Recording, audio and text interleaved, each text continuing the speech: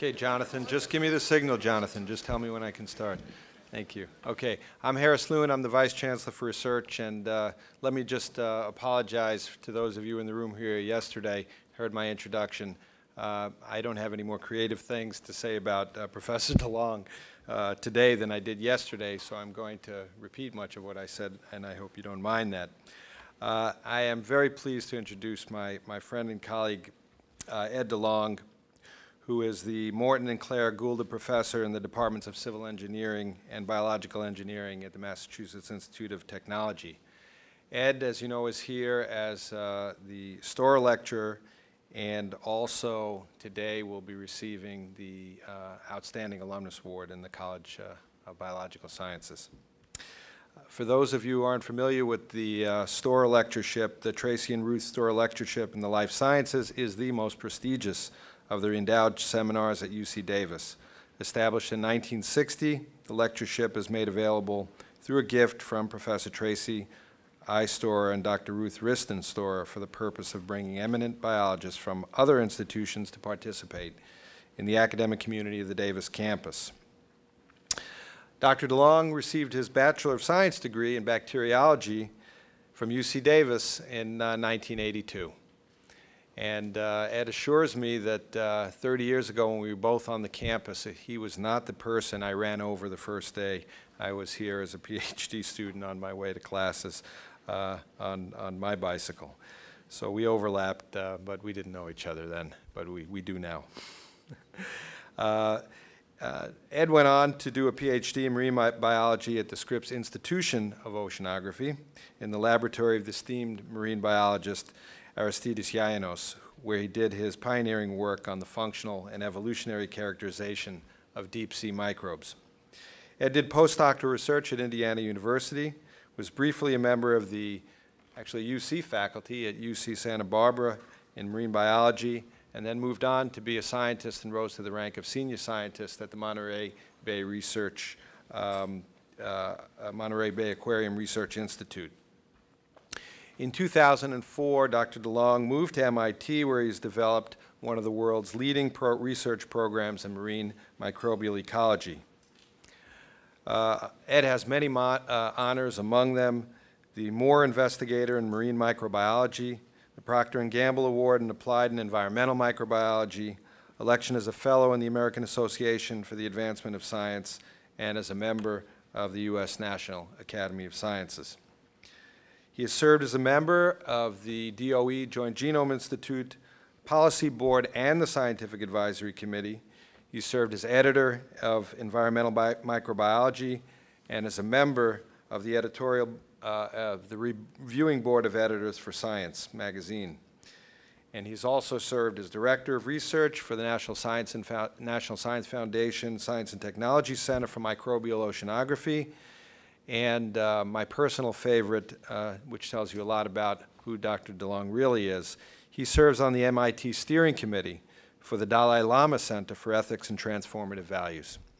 And I think Ed uh, really has uh, uh, the qualities that are, are, are unique in that he is not only brilliant as a scientist, but he's also shows outstanding human qualities, kindness, compassion, and thoughtfulness. Dr. DeLong is truly an explorer, in the, really in the true sense of the word. If you look at the voyages he's had to many corners of the earth, the Antarctic, for example, he spanned the globe, really, in search of clues uh, to the origins and, fa and fate of biogeochemical cycles in the Earth's oceans. And he's best known internationally for his discovery of the bacterial use of rhodopsin in converting sunlight to biochemical energy in marine microbial communities. And this research, as many of you know, made famous in the paper in Science, um, revealed a previously unknown component of the Earth's carbon and energy cycles. His work spans genomes to biomes and the evolution of microbes to the evolution of our planet. And so it's my great pleasure to introduce uh, Ed DeLong, who will deliver today's lecture entitled Microbial Community Genomics and Transcriptomics Reveal Structure, Function, and Dynamics of Marine Planktonic phages. Ed?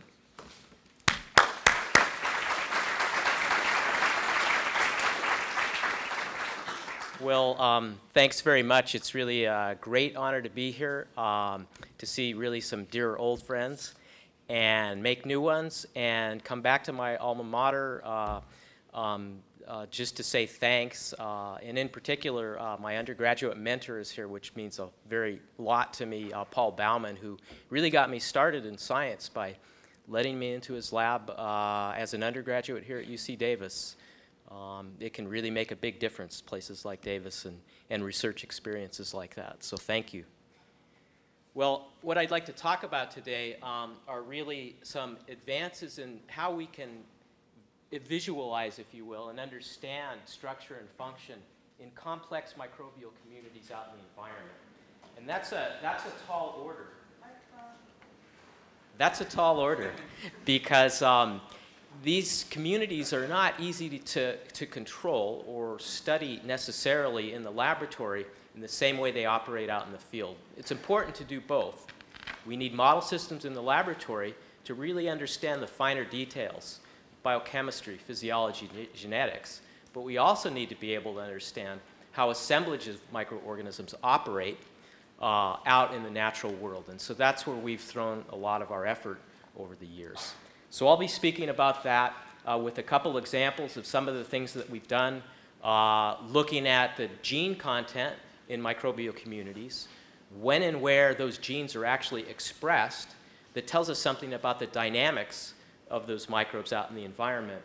Uh, and, uh, and looking at really um, uh, how we can use that information to make inferences about the kinetics of response uh, and how microorganisms interface with their complex uh, uh, um, interactions in the environment.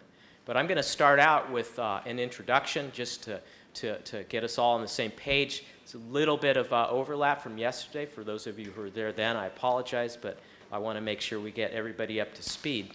Now, one of the big advances in terms of understanding microbes and their interrelationships was the development of phylogenetic techniques, the ability to make, if you will, gene family trees, uh, such that one could relate all the domains of life, bacteria, archaea, and eukarya, kind of in the same context. So what the branch links in these trees really tell you is the evolutionary distance uh, between extant or modern day lineages um, that all came from a common ancestor. So that's an interesting way to think about the evolutionary relationships of all cellular life on Earth, and it was a big advance, uh, really, by Carl Woese and others in the uh, 1980s. Uh, now, Norm Pace was able to take that a bit further. He realized if we can make maps of microbes, uh, family trees, if you will, from these genes, then we can reach into any habitat we want for those same genes and put them on that map so we can understand what lives out in these natural microbial communities. And the logic flow is simply that we can reach into a natural microbial population, just biomass in the environment, extract nucleic acids, and look for those uh, taxonomically or phylogenetically informative macromolecules like ribosomal RNAs. You can, in various ways, this is a, an old slide, but the logic is the same, get those genes, sequence them, and then put them on this map to relate them to known and well-characterized organisms. So now we can start to characterize microbes out in natural habitats without necessarily having the requirement to grow them, and, and we don't have to do it one at a time either. We can reach into that whole population and, and figure out who's there in relationship to who we know about by putting them on these phylogenetic trees. Now, I'm going to mostly talk about the ocean, but I thought that I would tell you about how these approaches developed by Pace are really kind of advancing our knowledge in things that maybe some of us care more about, like the ecosystems we carry around with us, the human microbiome. So there's been a series of recent papers that have basically utilized these techniques to map the kinds of microbes that live in and on us.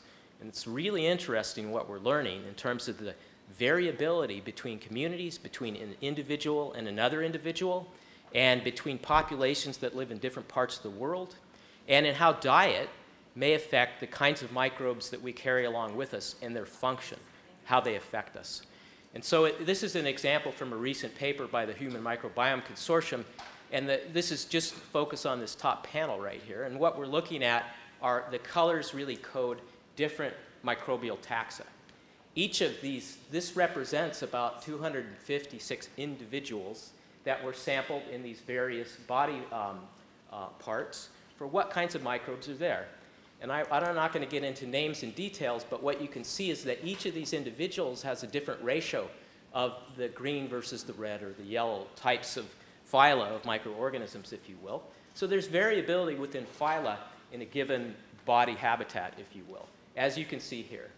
And between these body habitats, say the nose and the cheek, inner cheek, there's also differences between the major phyla that are there, and they vary between individuals. And the same with teeth and tongue and so on. So the development of these techniques by Pace and others, uh, his students, is allowing us to really map the sorts of microbes, their variability. Now, this is all in healthy individuals. And so we can begin to ask the questions of how that variability correlates between particular disease states and healthy individuals. So, so that's one ad advance. We can also begin to understand the ecology of these microbes and how that maps onto the population biology and habits, if you will, of humans. And, and this is another recent study um, by Jeff Gordon, who has really pioneered uh, the Human Microbiome Project's uh, uh, uh, beginning, if you will. And what he did was to look at individuals from three different populations on, on our planet. Uh, one from the U.S., so individuals in the U.S. were sampled for their gut microbiomes. Uh, a, a, population in South Africa, a small native population, and another small native population in Venezuela in the Amazonas of about 100 individuals. Now, he looked across many different age classes of people at those microbiomes, as well as, as looking at the kinds of taxa that were there. And what we're looking at here is basically a plot of, of young uh, uh, uh individuals from these three different populations, kind of color-coded, uh, and how their microbiomes vary when compared to adults. So we're really looking at the difference between young children and the microbiomes in their guts uh, between the adult microbiome. And what you can see when that's done is that there's a real, um, this is uh, uh, the dissimilarity, so this is very different microbiome in these newborns between that found in adults.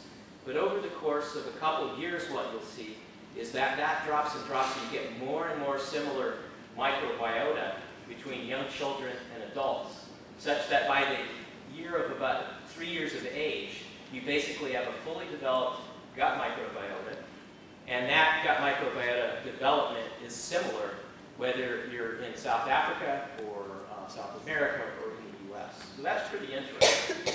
Um, however, the composition of this gut microbiota varies with respect to who's there. And if you do a, a principal components analysis, what's interesting is that the U.S., uh, if you will, microbiome uh, clusters together relative to the microbiome from both South Africa and South America, which also cluster together. So that's interesting. I mean, these, these African populations and South American populations are really quite different in many cultures and customs and so on. And yet there's a clustering here, and we'll get to that in a little bit about why that may be. But what it says is that there's variability uh, between populations for whatever reasons, but also that the development of the microbiome uh, is, is basically uh, happening along with the development of the child and what the interrelationship of those is is really interesting and a very active area of research right now. That kind of um, dynamic really couldn't have been looked at until these sorts of techniques were developed. Um, interestingly, if you take a look at total diversity, so this is basically the total number of taxa, uh, in the U.S., there's uh, uh, um, quite a bit fewer uh, species, if you will, than were found in both the South African as well as the South American uh, populations. Uh, and this is the development of those taxa over time in young children from years one, two, three, and so on, age groups. And so you see this um, basically leveling off once the taxa is developed after age uh, of three or so. Uh, and you can see that here in a blow up of how that community is developing in all three of these different populations uh, over the course of three years. So the development of the microbiome uh, and at some level is, is, is following the development of children at a young age, and that has important implications for phenotype. So that's just an introduction of how some of these cultivation uh, independent approaches are, are really advancing ways that we can understand very complex ecosystems, including the ones that we carry uh, with our own body. Um, what that doesn't tell you, that's simply a taxonomic uh, overview of the sorts of microorganisms that are there, and it doesn't tell us exactly what those organisms are doing or how they're functioning. And so part of uh, what I'll be speaking about today are some of our efforts in the ocean for going beyond just uh, census, if you will, of what sorts of organisms are there to what they're doing, how they're doing it, and when they're doing it. Uh, and we'll get to that in a moment. Uh, that's what this is meant to illustrate. We know that there are lots of these different taxa now, uh, but what we really want to know is what's their gene content, what's the function, and how do variations in taxa correlate to variations in functionality. Um, another way I like to look at this um, is, is the sorts of mapping that folks are trying to do now using these sorts of omic technologies and applying them and looking at microbial communities. And so there's, a, there's an intersection really between just doing gene surveys, if you will, which we'll talk about in a moment, um, and overlaying those on the kind of organism surveys, if you will, of the sorts of organisms that are there, and their phenotypes and physiology and so on. And then trying to understand those sorts of uh, uh, biological hierarchies in the context of the communities and the environments in which they live.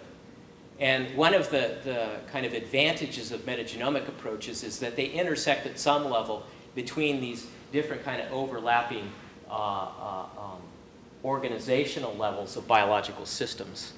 Now, this may be for one instant in time or a particular place, if you will, that you're trying to overlay these properties, but at the same time, you can't rule out time. So if you imagine that this is a plane in the third dimension, uh, uh, evolutionary processes and differentiation and mutation and selection, of course, are happening. So there's, a, there's another dimension uh, that needs to be explored in trying to map what's going on in these microbial communities.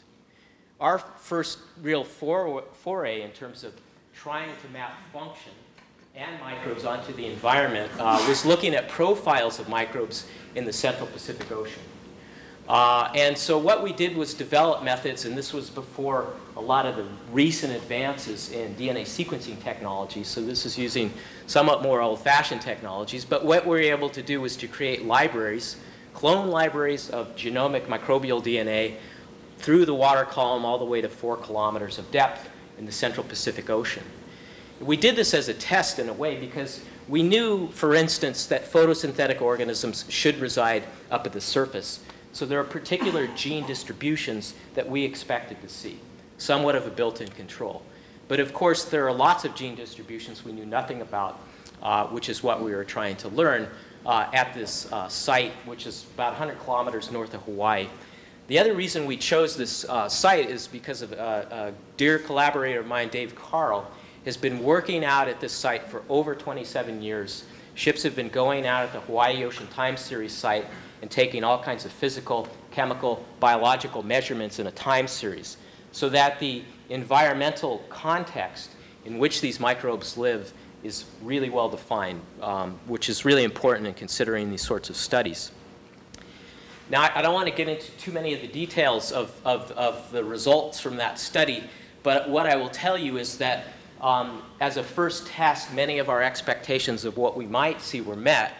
And so what we're looking at here in these heat maps is basically in these columns that represents different gene categories uh, uh, at various different depths from 10, 70, 130 meters to 500, 770, 4,000. This green here represents the fact that these three depths down to 130 meters are still in the photic zone.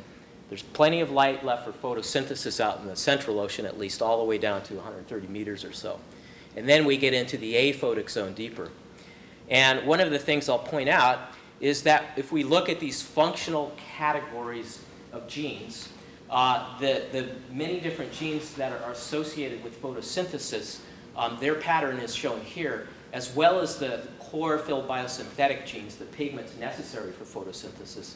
And what I hope you can see here is that these are distributed very well up near the surface, in the photic zone, and pretty much disappear at depth. So a little bit of a, a, a sanity check on do the distributions of genes we see map our expectations in we, what we know the organismal distributions are. So that was a, a, a, reasonable first test, but of course we were interested in gene distributions um, that showed patterns we, we, we hadn't expected or predicted. Um, and that's shown here in this plot. And just to blow this up, one really curious thing we saw was uh, a high presence of these aldolases right here, uh, which um, we were hard pressed to explain initially. And, and the reason I point out this example is that um, oftentimes those gene distributions are going to give you taxonomic information. And in this case, it was taxonomic information that we couldn't get from ribosomal RNAs because it turns out these particular transaldolases are from phage, um, cyanophage in particular. And so what based on, on these data, you know, it gave us a clue that in this particular sample, for reasons I'll get into in a second, there were really high abundance of phage in the cellular fraction that we were collecting on filters, which is, is was un, unexpected for us. Another unexpected trend, which we really didn't necessarily expect to see at all, is a particular class of genes that basically tracked uh, almost monotomically an increase as a function of depth. And those were uh, transposases, basically, jumping genes, if you will. Now, there was no reason to predict a priori that we should see a steady increase in transposable elements and transposases as a function of depth. But this has subsequently been verified in a couple different places in the ocean using a variety of different techniques. Um, we can talk about the, why this might be later. I don't have enough time to get into the details, but what I'd like to point out is that environmental selective pressures appear to be affecting many different classes of these transposases. There are about 70 different classes here in many different sorts of taxa. So this is not a taxon-specific distribution. This seems to be reflective of the kind of selection pressure, actually we think relaxed selection, against transposases as a function of depth because of the environmental conditions. Um, and it's just meant as an example to show that we can learn things that we might not predict that particular classes of genes are tracking specific environmental gradients that we might not have guessed um, previously. Um, going back to the phage, remember I said we found that transaldolase gene that looked like it came from a cyanophage. Well, if we map all the gene identifications we could make in these profiles, it turns out that 10% of the genes at that 70 meter depth came from cyanophages. And our best uh, uh, guess is, is that we just happen to sample at that point in space and time a population of Prochlorococcus, the most abundant cyanobacteria, that was basically infected and about to undergo a burst uh, at that time. And the, I won't give you any reasons. We don't know the reasons why that was at that particular place and time. But what I will point out is that this sort of approach has potential to give you information on organism-organism or phage-organism interactions because you sample the whole milieu at the same time. So uh, uh, host-predator interactions can be captured using these sorts of approaches. So kind of higher order biological interactions that are captured at the informational level in nucleic acids. So these sorts of um, initial glimpses that, that this sort of approach can, even just looking at gene distributions, give you this kind of information, I think encouraged us and others that, that maybe this is a viable approach to take. And so, you know, we might not all care about the ocean, so let's get back into the human microbiome. There's a really lovely paper that I talked about previously by Jeff Gordon comparing the U.S., Malawian, and America, uh, sorry, the, the Venezuelan uh, populations um, similar kinds of heat maps looking at similar gene distributions between these different populations and all kinds of actually pretty interesting and probably significant correlations between functional gene distributions, between age groups, and between these different population groups are popping out of this.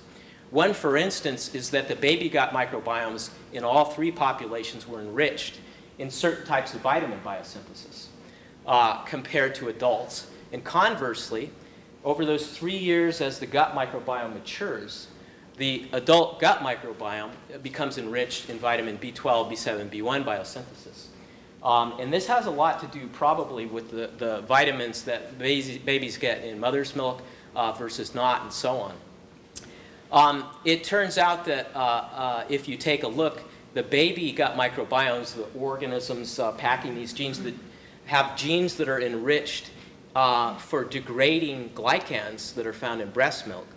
Uh, and then they diminish over time. And in fact, these are enriched in the uh, Malawian and uh, Venezuelan populations relative um, to the American populations. And so on. And there's a list, and I don't want to go through the list, but what I want to uh, uh, point out is, is that these taxon distribution and the gene distributions overlaid on them as they change over time or as they vary between different populations or age groups are giving us real insight. And it turns out that some of the differences that are being seen seem to be really related to diet. So that the big differences that we see in taxa between the US populations and these other native populations, as well as in functional genes, can be directly traced um, to differences in diet. Um, so, so some of these patterns with respect to microbial communities that live within us and also help us digest our um, diet are, are starting to become known. So there's good reason to think, I think, that these sorts of approaches can give us um, wonderful information about the dynamics of uh, host microbiome interactions and their functional consequences. So we're pretty excited about that and to see where it's going because it, we think it's going to take an understanding of microbial communities um, to a new level. So one of the things about these surveys, though, is, you know, they are pretty much taking a census, and a census that's really at a, a static point in space and time. Uh, when you do comparisons of large numbers of individuals like Jeff Gordon, you can get a lot more information. Um, but what we really were interested in is trying to get more of a motion picture of how microbes and microbial communities were responding to their environment. And what's recently become possible is that it's possible to do what's now called RNA-seq uh, or, or transcriptomics. We called it metatranscriptomics for looking at microbial communities to look at not just the gene distributions, the potential, but when and where those genes are being expressed uh, over the course of time and space in these microbial communities. So we started to develop techniques like this so we could basically look within these time domains that we don't often sample out in the environment. And I, I show this graph just to make the point that um, we have many challenges trying to study microbes out in their natural habitats. They live on uh, spatial scales and respond to the environment on temporal scales that are incredibly challenging to try and sample. Uh, and so while the development of these techniques is really exciting because it gives us a new microscope into the microbial world, uh, we still have challenges of how we can adequately sample in both time and space and to ask the question, what's the appropriate scale that we should be looking at? And that's a little bit part of our motivator for trying to develop some of these gene expression techniques to look at microbial communities. In the ocean water column, at some level, we have an easier job because microbial populations are, are really distributed as near as we can tell where we sample on the order of meters or tens of meters. It's the same size scale as us, so it's a little bit more feasible to be able to try and sample the same population or similar populations over time.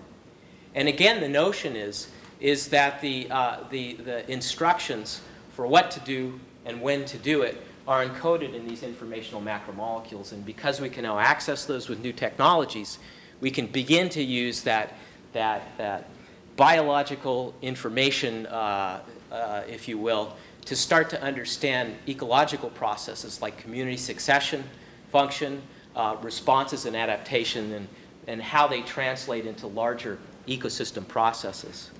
So to develop these techniques, what we did was to extend from uh, beyond just looking at community DNA and shotgun sequencing that to look at genes or to look at taxa, uh, as, but at the same time extract total RNA from a community and using a variety of techniques that we borrowed from the eukaryotic community, uh, generate cDNA from very small amounts of RNA um, to uh, look at what genes are being expressed uh, from the genes that were contained in that community.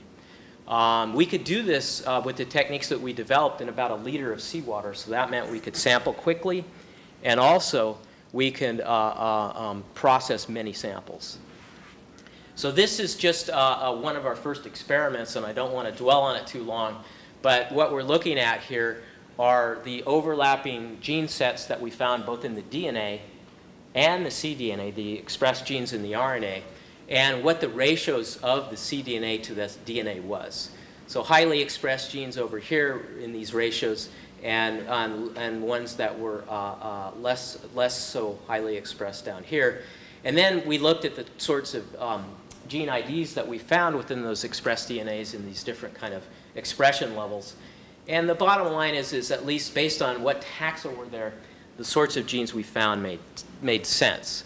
This is kind of just looking at all the genes, but probably a more useful way to think about this is if you have a reference genome from highly abundant organisms in the environment, you can begin to map those expressed genes uh, as well as the, the DNA that you find onto a reference. And that's what this plot shows you with Prochlorococcus, one of the most abundant cyanophage in the ocean that's, that's uh, splitting water using sunlight and fixing CO2. It's a primary producer. And so the coverage uh, across the genome is pretty good. Uh, and what you see is that many of these genes are being expressed as well, and it's not as tight a distribution. Usually these are single copy genes, so you get one gene per, per cell, and there's X number of cells, and so you get this number, if you will, of, uh, uh, uh of representation across the genome. But different genes are being expressed at different levels, and so you get a little bit more scatter of gene expression across the genome. The reason for showing this plot and the reason that we did it in the first place is we really wanted to get a good idea of um, how feasible this was and what it was telling us about individual populations like Prochlorococcus out in the environment, how good our coverage was across the genome. What you can imagine is, this is just one sample from 75 meters, is that you could compare many different depths, not only with respect to the gene content, but also with respect to this gene expression. And um, if we did those sorts of plots, looking at these expression ratios uh, across a, another profile through uh, the water column down to 500 meters, um, here's what we saw. And, and, the reason I show this is because when we began this, um, you know, we're just reaching into uh, uh, uh, the environment and wild microbes, if you will, and trying to look at what genes are being expressed, but it's very complicated. We're reliant on existing databases to identify genes we don't really have good controls. We're just reaching into nature and seeing what we get. And so we wanted to be somewhat careful about what we were looking at. And one thing that alarmed us quite a bit was this, the highest expression levels that we saw uh, were things that were hypothetical, nothing in the databases that we could identify, or when we looked into it, actually miscalled protein genes. That is, something in the database that was called a protein that when you look further into it really wasn't. And I'll explain what I mean by that in a second. So we had to sort this out. Uh, when we got down to these expression levels, we were pretty confident we were looking at expressed protein genes. Well, what was, what was these mystery hypotheticals that we ran into, and we really wanted to dig into that uh, because they represent a pretty large proportion of what we saw. These are just four different samples at four different depths. Uh, um, and what we're looking at here, these are the ribosomal RNA genes, which are going to be in all of these samples. They represent a large proportion of cellular RNA. Um, these are protein coding genes, the, the genes we're after to look at protein gene expression.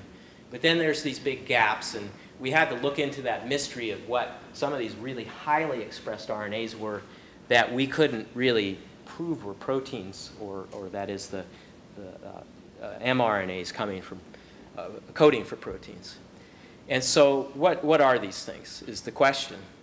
And what do they represent? Because we wanted to start to use this as a tool, and if we couldn't figure out what we were looking at, it might have been somewhat difficult.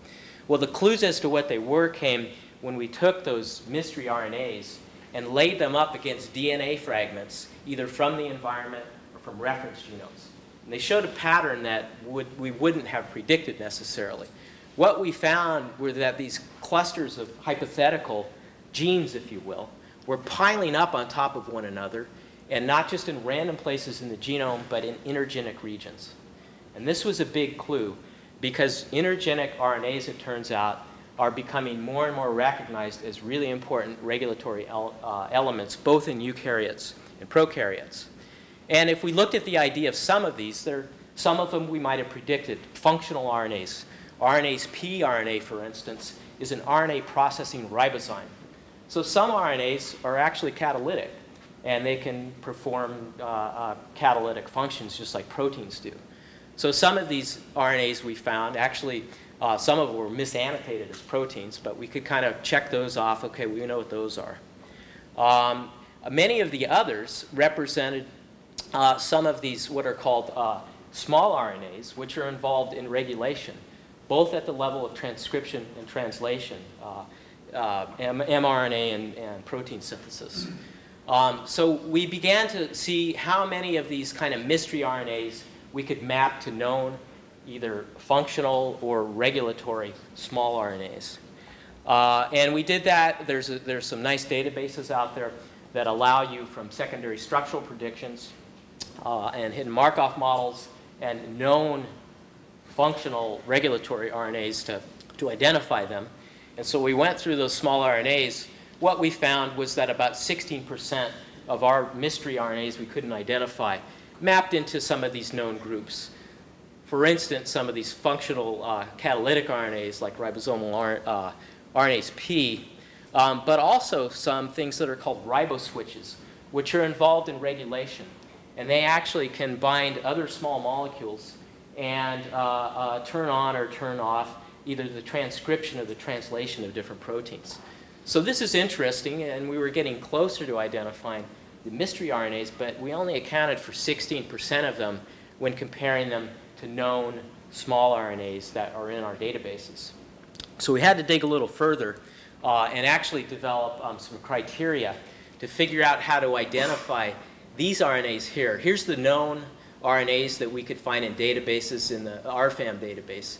And it's only a small sliver of these unknown ones. And so uh, what we did was develop some criteria to uh, categorize these RNAs to give evidence that they're actually functional or regulatory small RNAs.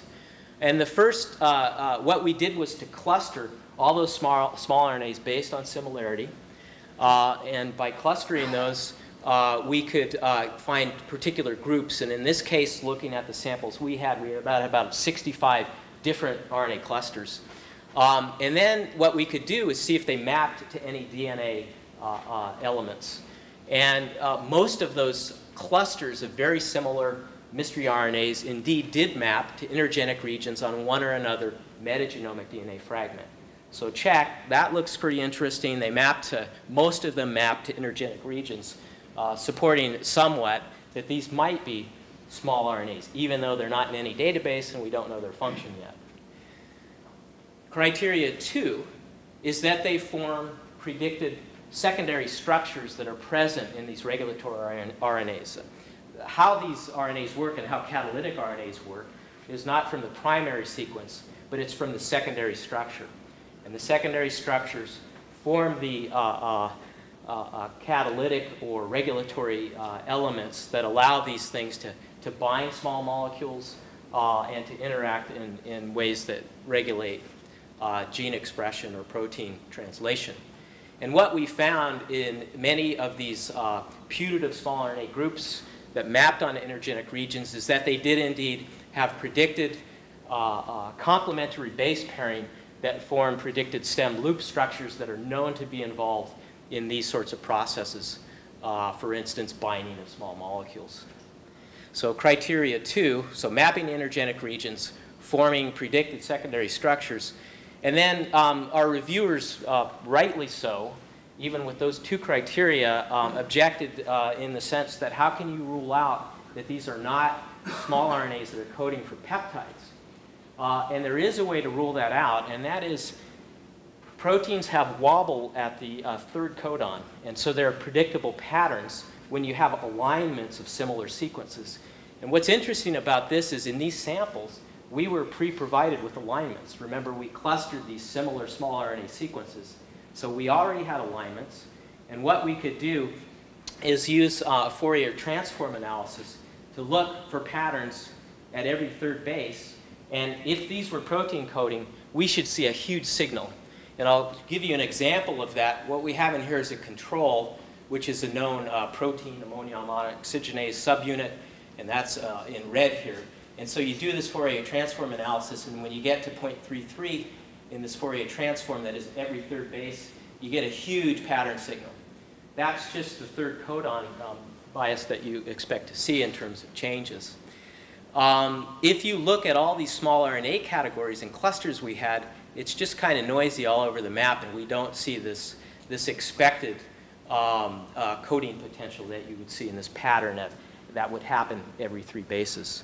So given the fact that we could rule out that they're pro small peptides or proteins, they clustered to intergenic regions uh, and have predicted uh, secondary structures that could function in regulation. Uh, we still call these psRNAs, putative small RNAs, but all the evidence points to the fact that they're like the small RNAs that we see in characterized systems. And I know you can't read this, so I apologize, but we, what we could do then is take those categories of, of uh, small RNAs and look at their distribution across depth. So some of these small RNAs were found at all depths. Some of them were specific, and it turns out they're specific to very particular taxa. And we could look at flanking genes on either side um, to try and get some idea of whether maybe um, they were involved in upstream uh, uh, regulation and that sort of thing. Uh, and I, I, can't get into this, obviously, the print's too small, but the bottom line is we could look at patterns in both distribution uh, in the environment, across taxa, and, as well as what genes they fell next to with um, proposed kind of regulatory mechanisms. And here's just one example of one of these small RNAs uh, that we found in these groups. This is one has um, particular uh, secondary structure. And a lot of times what happens in these is that the, the loops in these stem loop structures interact with regulatory regions in other genes. And in this particular case, this is group four. And so this is the most abundant group here uh, some instances of those particular group 4 small RNAs had a sequence right here um, that had a 32 base uh, exact match uh, uh, with the, the translation initiation site in the particular protein that it was adjacent to.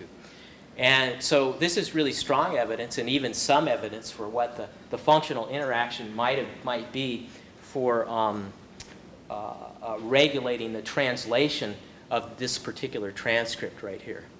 So one can play these sorts of games, and this is not really where we're headed, although I, I think for uh, folks that are interested in small RNA, this is a wonderful discovery tool um, that can take you uh, beyond just what's in genome databases or, or maybe in, in, your Petri plate. And I know that people are actively pursuing this uh, sort of discovery uh, mechanism for small RNAs. And just to cap that off, I want, uh, you know, there were some, some trends that we saw uh, um, and the majority of those mystery RNAs do indeed appear to be uh, regulatory or other sorts of small RNAs. Uh, um, they can vary with depths and taxa. Uh, um, and I won't get into the rest of these details, but the bottom line is it's, uh, we ran into this really not expecting to see it, but, but think it's quite useful uh, for those folks that are interested in this class of molecules and how they regulate in different taxa and populations. So that's just developing that technique, um, and it took a while, and we ran into some bumps in the road we didn't expect. But as things have progressed along, we can begin to think about how we might use looking at transcriptomes in microbial communities to really get at uh, what they're doing out in the environment. And I'm going to tell just one story, I think. Uh, again, trying to look in particular time and space domains that can tell us about what organisms are doing. And one of the things that is really hard to get at, and that I think we're still just really learning about, is population biology in wild populations of microorganisms. It turns out there aren't many clones out in nature. What there are in any given place are populations of organisms that are sometimes, you know, the same thing almost, except that if you look at their DNA, they vary as much as 90% similarity. So there's quite a bit of genetic heterogeneity within natural microbial populations that uh, needs to be interpreted, uh, as well as how these organisms interact. So what I'd like to talk about here is just one example of looking into these microbial populations in a more dynamic sense. And we used a robot, my colleague at the Monterey Bay Aquarium Institute, Chris Scholin, developed a way with this robot to basically sample automatically in the marine environment. And teaming up with him, we developed a way to fix microbial cells that were sampled to preserve their RNAs. And I'm going to skip through the validation of this technique uh, because it'll take too long, but the bottom line is we can use this robot out in the ocean to automatically sample cells, fix them for downstream transcriptome analysis, and see what's going on in the environment in a dynamic sense. And so here's a picture of this device uh, floating in Monterey Bay. And what we decided we wanted to do was to look at a day in the life of marine picoplankton. How does gene, how does gene transcription change in multiple species within a population over the course of a couple days? Because really, we've never looked at a window of time like that in wild organisms out in the environment. Um, so, you know, this involves oceanography, so it's a really weird marriage of, you know, this ultra reductionist, let's look at gene expression and do a lot of DNA sequencing, but first we have to throw this gigantic monster into the ocean to allow us to do our sampling. It's, it's kind of a weird interface, but it works. And what we did was deploy that device and we let it drift. And here's the notion. You know, if you put a device like that in the ocean, the currents are passing by, you're looking at basically the microbial superhighway flowing past your measuring device. We wanted to float along with the microbial population and measure what was going on over time. So what we see here is that device over the course of four days following a batch of water and presumably microbial populations and sampling them every two hours along the way. So um, this is just an example of how the communities were similar at each of the different time points as we did the sampling over time. And what I can tell you is they really were pretty simple, similar. Most of the variants that we saw had to do with re relative abundance of the microbes. So if you take a look at the transcripts, uh, there was actually pretty good abundance of transcripts from a bunch of different groups that we care about in plankton. Uh, marine eukaryotes like Ostreococcus, uh, the cyanobacteria, uh, which are both photoautotrophic organisms, but one's a eukaryote, one's a prokaryote, and then some really important heterotrophs, all in these same samples taken every two hours over the course of, in this case I'm showing you 48 hours. Um, so we want to, again, we have a built-in control because we can predict what photoautotrophs should do over the course of a day because it turns out that if you're using sunlight for energy and fixing CO2, you want to orchestrate your gene expression very carefully so the right genes are turned on at the right time. When it gets light and dark, different genes turn off, different genes turn on, and we know this well from laboratory studies. The question is what happens in the field if you look at these two organisms and try and follow their gene expression? Well, one, one really uh, pleasing result was when we kind of asked that question very specifically by using what's called harmonic regression. That's basically for every gene saying, okay, I'm going to force a 24-hour period. You can pick any time you want to start in that period, but it's got to be 24 hours. Does this gene expression match that? And in cyanobacteria, it turns out there's clock genes that actually control that diel cycling. And if you look at the clock genes, the kai genes, in that wild population of cyanobacteria, lo and behold, what you see here, here's the dark, here's the light. Over time, this is photosynthetically available radiation. You see these wonderful sine waves, which are basically an indicator of the diurnal rhythms of these wild populations out, uh, that we sampled with this robot. And if you look at Ostreococcus, you see similar things in, in sometimes uh, uh, homologous genes. Uh, um, and you can map that sort of gene expression in terms of peak expression time amongst many important metabolic pathways. So each of these circles represents a different gene in a particular pathway. And you can see the orchestration uh, over the course of a day and over the course of 48 hours of this diel rhythmic expression. Again, you know, this is not a great revelation. This is actually what we predict from the laboratory, but it's pleasing to see that our data are sufficient in terms of depth and accuracy to pull out these patterns of diel expression from these wild populations. In fact, you can compare what people have observed in lab microarrays of Ostreococcus uh, in terms of peak expression time over 24 hours. Each of these dots is an individual gene in the genome. uh, versus what we saw in the field with our Ostreococcus populations. And this is, it almost doesn't look like ecology uh, because the, the correlation is so amazing. So for very robust gene regulatory cycles, genome-wide, we can recapture some of those patterns out in nature. And then, of course, the question is, is what, can we get things we don't know about? And what if it's not a 24-hour period? So we're able to develop this technique using this uh, uh, software called GeneArma, which in, uses uh, an autoregressive moving average model to cluster genes that behave similarly, regardless if it's a 24-hour pattern or another pattern. So these gray things you see here are just individual genes from Ostreococcus that behave the same way in terms of their cycling. Uh, and you can look at those patterns and see if you can recreate what we predict from uh, uh. And so here are those clusters predicted by GeneArma. We just give them a number, cluster 16, cluster 12. It's a collection of genes that behave the same way. In this case, the peak expression time, in cluster 16, is uh, between uh, 2 p.m. and 10 p.m. And so on. And, but look at this pattern. What you see here again, it's this rhythmic cycle. This is a 24-hour mark here. Uh, and it just repeats itself day after day with all the collections of genes in these different clusters. Again, a recapitulation, but think of if it's another organism that's not a phototroph, we just can ask the question, well, what's going on at 10 a.m.? And if you look in Ostreococcus, it's what we predict. The lights are on, the sun is up. These are all the genes involved in uh, uh, uh, the Calvin cycle for CO2 fixation, as well as synthesis of all the photosystem genes for photosynthesizing. Now, I should finish up soon, but I just want to tell you that now we're able, having verified this, to look for patterns in organisms where we don't know what to expect. And one of the most abundant heterotrophs is Pelagibacter, um, which doesn't exhibit a diel cycle. But what it does exhibit is correlations and anti-correlations between clusters of genes across the genome that I can't tell you what's going on here with respect to what was the environmental signal that caused all these genes to turn on and these genes to turn off. But what I can tell you is if you do statistical analysis and anti-correlation, and what these are is really regulons flipping switches and going on and off in response to something in the environment that we need to figure out yet. But at least we can take a look at these patterns.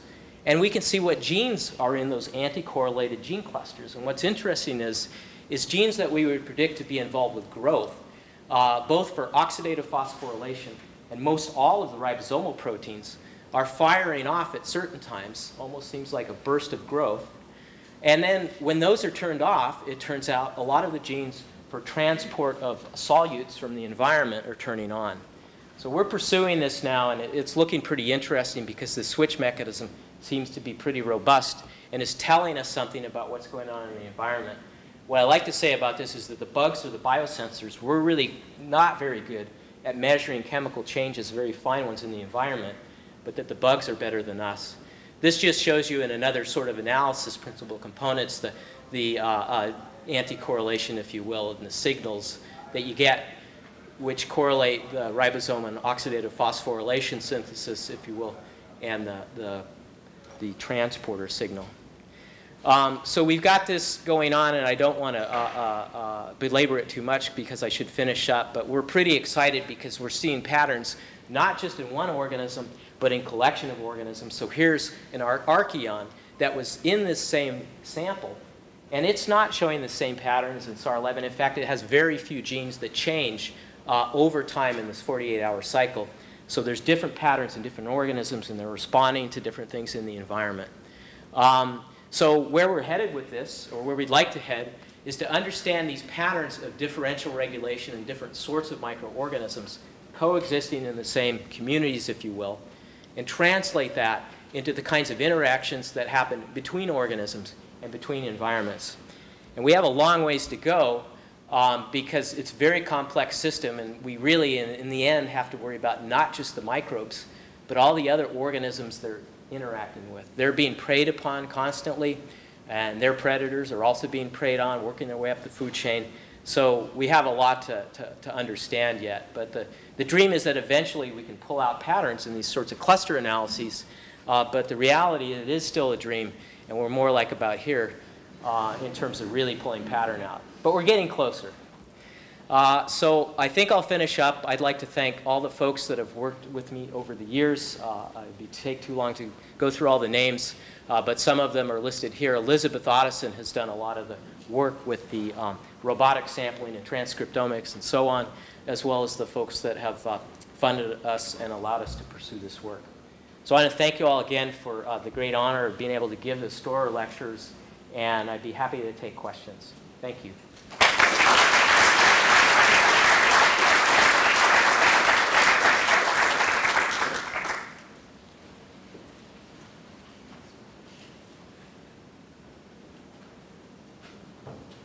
Yes, Scott. So, so with the cyanobacteria linked to the diel cycle, it implies that they're, they're synchronous essentially. So the cell cycle is linked to the day-night cycle with gene expression. Yes. Would that be the implication for Pelagibacter, or are they just, as a population, responding to some environmental cue all at the same time? Well, so thi- this is, you just raise a great point because it's not a Can you repeat the question? Yeah, I'll, I'll paraphrase it if that's okay. Sure.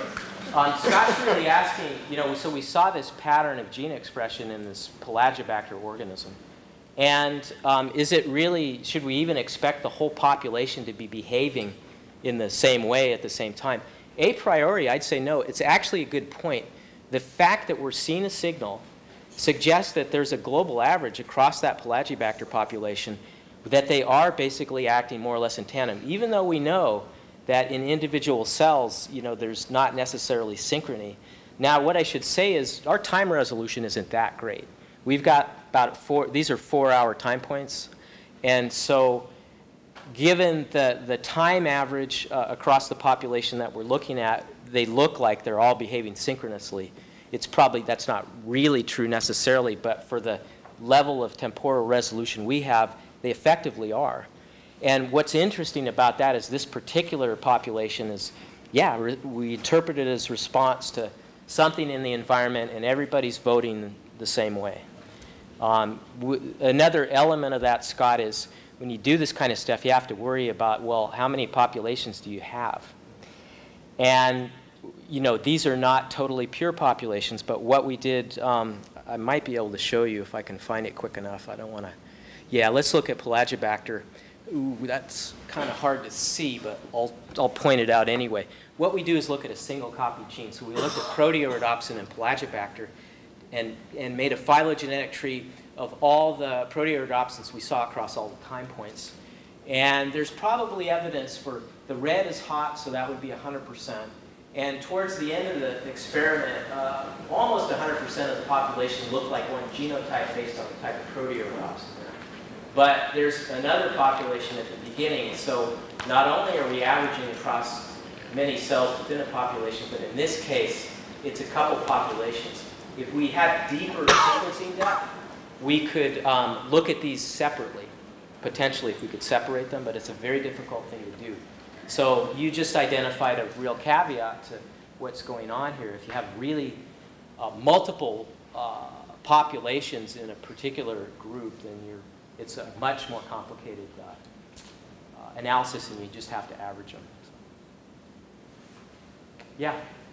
Um, have you taken your uh, marine sample machine to what would be sort of considered a recently damaged marine environment, something that suffered an oil spill or something recently, to see what genes might be turned on in It- a compromised environment? Yeah, you know, that's where this stuff needs to head. I should tell you, um, this device is actually called, uh, Chris Scholin at MBARI developed it. It's called the Environmental Sample Processor. And the motivation for even building it was to look for, at harmful algal bloom, blooms to get kind of an early warning uh, of when blooms were forming. This device actually does onboard uh, hybridizations and detection, and then it can actually detect harmful algae and then radio tel- telemer the, the answer back to shore. So it's a, it does a lot more sophisticated things than I talked about. We, since we want to look at a lot of genes across the community, we just sample. But the device has capabilities for onboard PCR and a number of other uh, in situ detection technologies that even allow uh, uh, real-time response with respect to what organisms are there and that sort of thing. So that kind of application uh, is not science fiction. It's pretty, pretty close.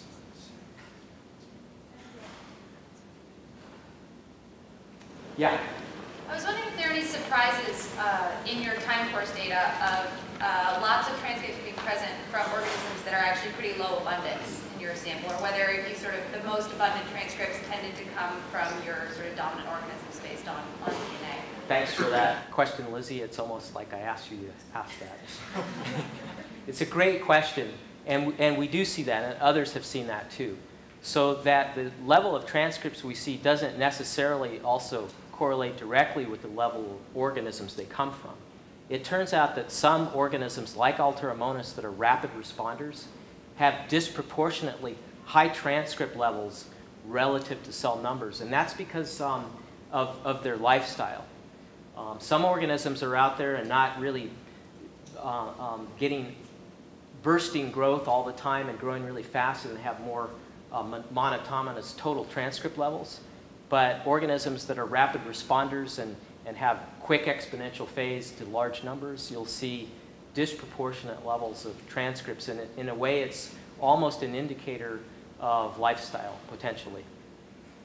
We have time for one more because we have to get uh, into the reception. Richard?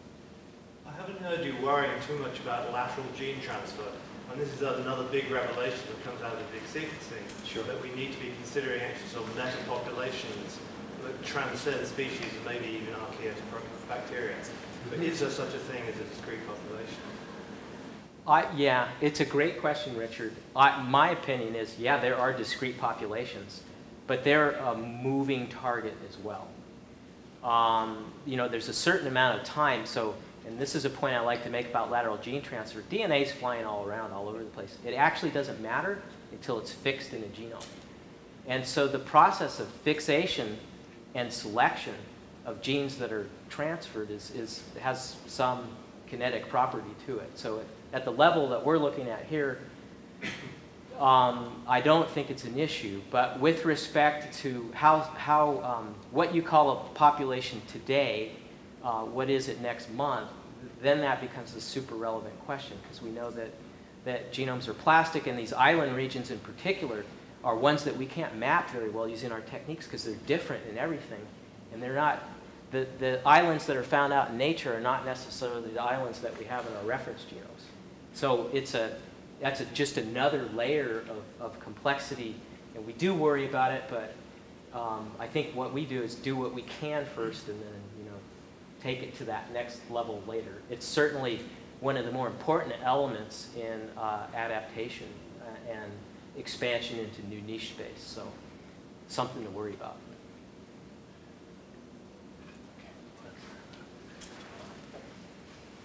So I'd like um, for us all to thank uh, Ed DeLong for two fantastic lectures uh, and uh, really illuminating an entire area of uh, research that, um, that has tremendous potential uh, for really understanding how how the oceans are working, how, and how our entire planet depends on the underpinnings of the microbial uh, biosphere.